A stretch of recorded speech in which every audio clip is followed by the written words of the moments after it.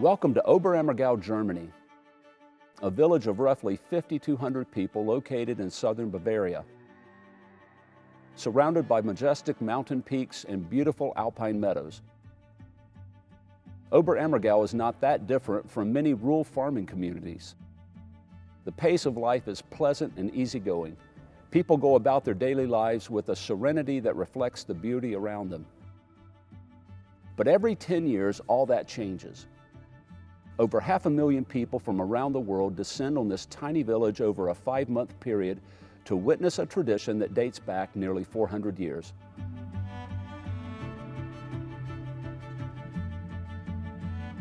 Hello, I'm Rob Fuquay, and it's my privilege to be your guide in this study of Jesus' Passion from the perspective of the Oberammergau Passion Play. I'm standing on the stage of the 5,000 seat Passion Play Theater. The play has taken place on this site since the early 1800s. Once a decade, the people of Oberammergau step away from being farmers and doctors and teachers and waiters and waitresses to become actors and actresses in the greatest story ever told. But why? Why do the people put on this play? Why have the citizens of Oberammergau kept this tradition since 1634? To find some answers, Let's go up the street. The secret to Oberammergau's Passion Play is answered here at the parish church, also called the Peter and Paul Church. This is where the people gathered and made an important promise to God one evening in 1633. Now that was right in the middle of the Thirty Years' War, roughly a century after the start of the Protestant Reformation. Ferdinand II, the Holy Roman Emperor, forced all of the citizens to adhere to Catholicism, breaking a decades old agreement allowing individual states to choose whether to be Protestant or Catholic. The dispute quickly became an all out war, not only over religion, but the control of Europe. Over 8 million people died as a result, not just from the fighting, but also from disease known as the plague. Now, while the town of Oberammergau had gone to great lengths to protect itself from the plague, it still found its way here, and very quickly, 84 people had died.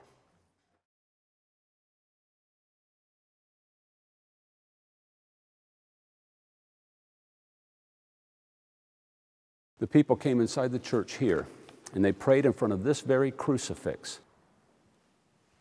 They asked God to spare them any more deaths and they made this vow. Every 10 years, the devout representation of the sufferings and death of Christ should be given, so that God would have mercy and free our village from the appalling sickness. From that day forward, there were no more deaths. And beginning the next year, the people of Oberammergau put on their first passion play.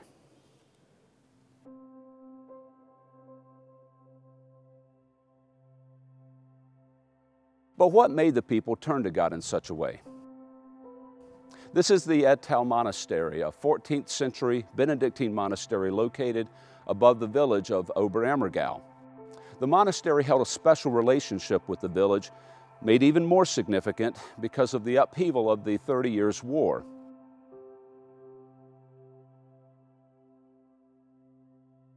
The people looked here for order and stability.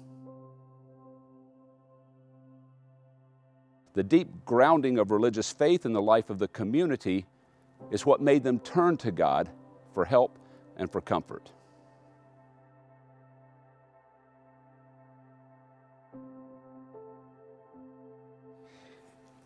Is, uh, in, in 1633, during the time of plague, the people of Oberammergau believed God was punishing them, but didn't know why.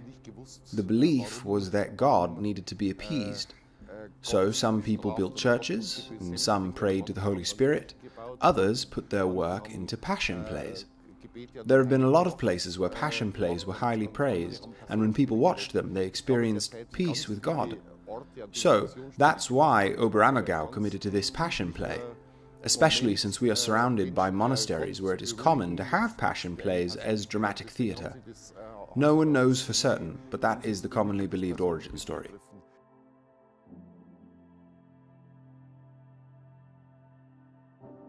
This town is like a giant picture of our lives.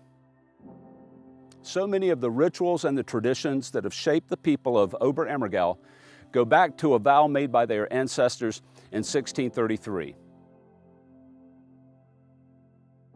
Vows have a lasting and powerful impact upon our lives. What are the vows that have had an impact on your life? Maybe you have parents who stood in front of an altar or a legal authority and said, I do.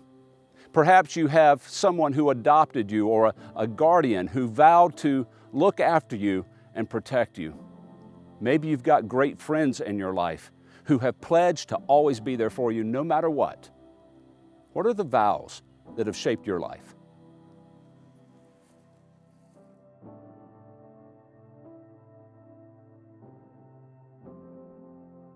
As people of faith, we recognize that we're all the product of vows, but not just the vows of other people, the vows of God. The Bible records many of these vows.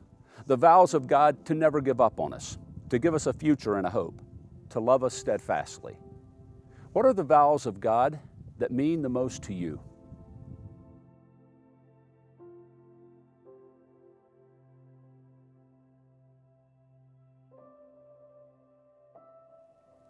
And finally, what are the vows you've made that define your life?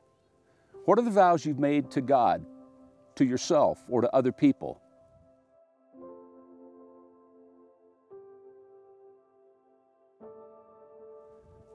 We may forget our vows or lose our desire to keep them. But here in Oberammergau, it's different. The people live by a vow their ancestors made nearly four centuries ago it doesn't seem like an obligation or a drudgery. It's more like a source of pride and joy. What can we learn about vows in this place?